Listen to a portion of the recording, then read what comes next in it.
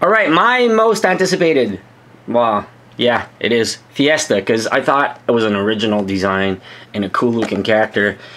Uh, you know, it's just so epic, and I can't wait to go get my um Frightful Fiesta, all orangey and such. Well, that was easy to take out of the box. Put some more light on the subject. Look at that. Look look at the hands though. That's so cool. And they actually move the fingers. And they don't feel flimsy like they're gonna bust off, but they, they fold, man. It's so nice. Look at the undead under the rift though.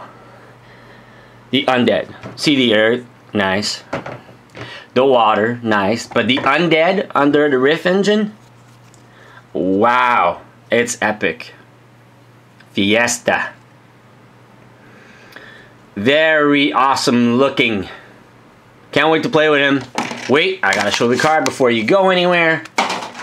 This is legit Fiesta unboxing. Done. Let's keep them popping. Oh, size comparison. There you go.